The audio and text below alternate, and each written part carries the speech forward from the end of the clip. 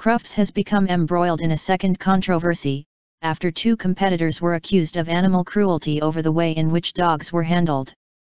Animal lovers have accused the show's organizers of turning a blind eye after footage emerged showing U.S. competitor Rebecca Cross, who won the Best in Show accolade, picking up her Scottish Terrier Knopa by its neck and tail.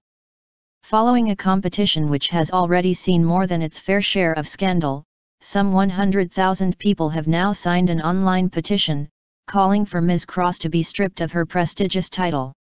It comes as the RSPCA announced it would be investigating separate allegations, which involved a dog being beaten by an overseas competitors in the car park at the Birmingham NEC. The Kennel Club, the show's organizers, also launched a probe into the allegations, following the circulation of photos online which purported to show the incident. The two incidents are the latest controversies to hit the world-famous competition.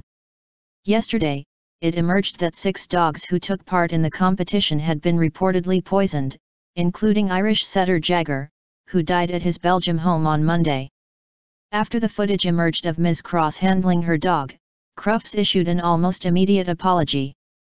The Kennel Club explained that it had warned Ms. Cross not to pick up the dog in that manner but that it was customary to do so in the U.S. Ms. Cross also issued an apology, saying she didn't do it on purpose, it was just habit. She added, it's just one of those things. It happened and I tried to really think about it and not do it, but it's habit.